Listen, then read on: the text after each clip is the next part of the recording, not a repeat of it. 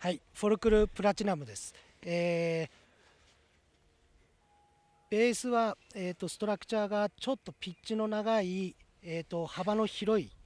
ダブルクロスが入っています。えービベルは出荷時のままなので、えー、とほとんどチューンナップされていません。なので多分0.5から1度のビベルがついていると思います。えーサイドベースもあサイド角も、えーチューンナップはされていないので多分88度ぐらいで仕上がってると思います。えー滑った感じ、えー、とこのストラクチャーの感じの仮想性はどういう感じを受けましたか？はい。えーとですね。まあ、ちょっとテストした環境がですね雪が柔らかいっていうのもあるのでちょっと大きくあの特徴としてはっていうのがあの、まあ、言いづらいというかなんですが、えー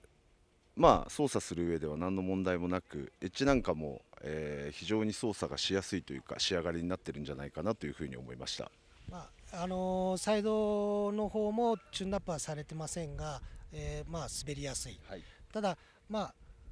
やっぱりあのこのまま乗るよりはチューンナップした方がいいとは思いましたか？